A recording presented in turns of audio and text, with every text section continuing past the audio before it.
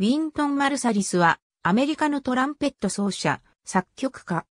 マルサリスは現代において最も著名なジャズミュージシャンの一人であり、クラシック奏者としてもよく知られている。またジャズアット、リンカーンセンターの芸術監督も務めている。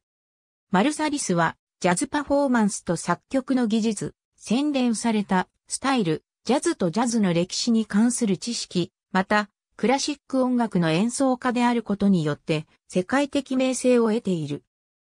現在まで16のクラシックと30以上のジャズのレコードを出しており、クラシックとジャズの両部門で合わせて9つのグラミー賞を獲得している。ルイジアナ州ニューオーリンズ出身。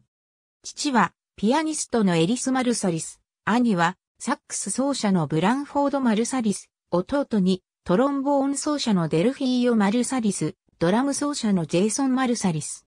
1978年、ジュリアード音楽院にクラシック音楽で入学。1980年、わずか18歳でアートブレーキージャズメッセンジャーズに加入し、プロとしての活動を開始。1981年7月、ハービー・ハンコックのバンドの一員として初来日を果たし、同年バンドリーダーとしてデビュー。伝統的なアコースティックジャズを継承する大型新人として話題となる。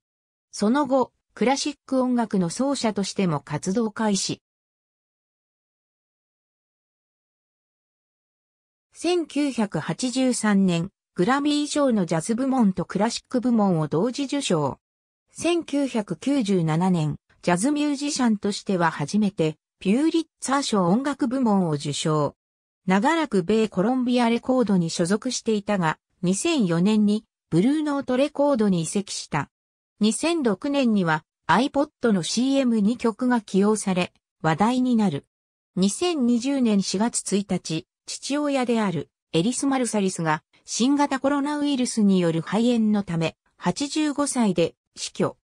ピューリッツァー賞音楽部門グラミー賞最優秀ジャズインストロメンタル、パフォーマンスグラミー賞最優秀ジャズインストロメンタル、パフォーマンスグラミー賞ベストインストルメンタル、ソロイストパフォーマンスグラミー賞ベストスポークン、ワードアルバムフォーチルドレン。ありがとうございます。